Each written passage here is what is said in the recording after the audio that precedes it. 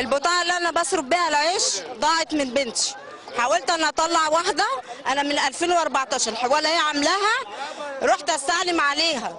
الشهر اللي فات قال لي دي البطاقة طالعة وبيصرف بيها لمدة سنة. كل ما أروح في العباسية يقول لي البطاقة طلعت. أجي هنا يقول لي روح للبقال. البقال مش منزل اسمي.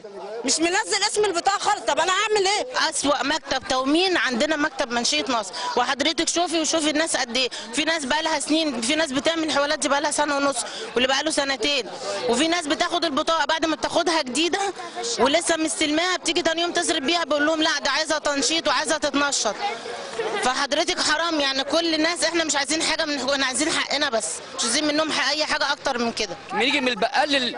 للمكتب المكتب للبقال. وادي شهر راح علينا اللي إحنا خدناه اللي فات وما خدناش تموين تاني. بنعاني من من المكاتب التموين ومن البقال ذات نفسه. بقول له البطاقة بتاعتي إزاي إزاي تبقى معايا واحد تاني يستلم؟ قال لي مستلم البطاقة بتاعتك يوم 3 5 إزاي؟ ده أنا جايب عيش يوم الشهر في أول الشهر. إزاي بطاقتي طلعت؟ مين اللي خدها؟ ما ردش عليا. الاسود أنا أنا جيت النهارده عشان أشوف حل معاهم. أطلب لهم الحكومة أروح في داهية. واخد بال حضرتك؟ هم خدوا البطاقة باعوها واخد بال هدينا عملت حوالة وياك البطاقة ما تجيش. بس أنا اندبحت واحد على الشباك بقى. محدش يلومني. عايزين البطاقه بطاقة التموين تبقى بصورة زي البطاقة القومية.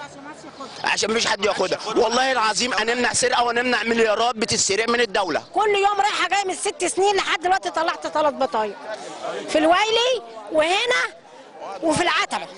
ومش لاقية ولا بطاقة جاتني مستلمين بتاع لسه جديد ماشي؟ وإذا بقولك صرفنا بقى شهر و- وقف التومين وعيش. بتاع جوز بنتي. تعمل إيه بقى؟ مش عارفين. جيت عشان استلم البطاقة. قالوا لي لا ده الورق بتاعك مش موجود ده ضاع. ضيعوه من مكتب التموين من هنا. قلت لهم طب الحل إيه دلوقتي؟ قالوا لي هتعمل ورق من أول وجديد. فجيت عملت حضرتك ورق من أول وجديد تاني أهو.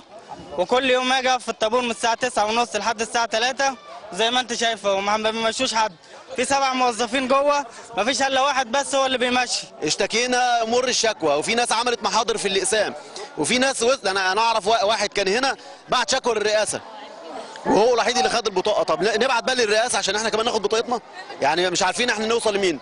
سيد الوزير يقول لك كل حاجة أمرها سهل والبطاقة هتطلع. مفيش حاجة بتطلع.